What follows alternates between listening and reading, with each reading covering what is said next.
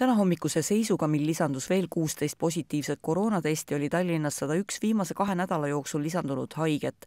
see tähendab kakskümmend juhtumit saja tuhande elaniku kohta. et olukord halveneb, pole kahtlustki. üks meede, kuidas oma tervist hoida, on alla laadida äpp Hoia. tänaseks on juba sada tuhat allalaadimist, sada tuhat kolmkümmend kolm täpsemalt ja see on olnud viimasel kahel nädalal kõige populaarsem äpp nii Play Store'is kui App Store'is. et selle äpiga saaks kuidagi inimesi jälgida ja nende asukohta tuvastada, kartma ei pea. äpp ei nõua ei inimese asukohta ega ka muid andmeid, ainult äh, kogub lähikontaktseid üle sinihamba tehnoloogia siis kuidas see täpsemalt toimib, kas telefonid suhtlevad omavahel või kuidas? jaa, telefonid täpsemalt suhtlevad omavahel, kui sinihammas on sisse lülitatud, siis kahe meetri raadiuses ja kontakt peab olema vähemalt viisteist minutit.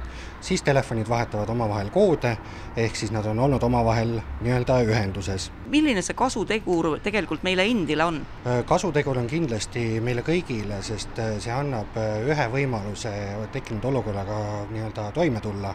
ehk siis, et kui meil on oleme positiivne koroonaproovi suhtes, siis meil tekib võimalus teavitada oma lähedasi, et nad võtaksid vastavad meetmed kasutusele, eneseisolatsiooni ja oleksid kodus. rakenduse Hoia abil saame olla viirusest ühe sammu võrra ees, sest võimalikke piiranguid on võimalik vältida nii kaua, kui me suudame viiruse levikut kontrolli all hoida. kui nüüd on kellelgi tekkinud hirm, et äh, tõesti võib-olla riik jälgib teda või kuidagi, siis ma lükkan kategooriliselt selle ümber sellist asja ei toimu, see on täiesti anonüümne ja Terviseamet ei saa sellest äh, mingeid äh, andmeid, aga me väga loodame, et inimesed ise on hoolsad ja helistavad meile, annavad teada, et äh, mul on võimalik kokkupuude olnud ja me võtame nad lähikontaktsetena endale jälgimisele. kui inimene saab äpilt teada, et on olnud lähikontaktis koroonaviiruse kandjaga, siis on võimalik koheselt oma elu ümber korraldada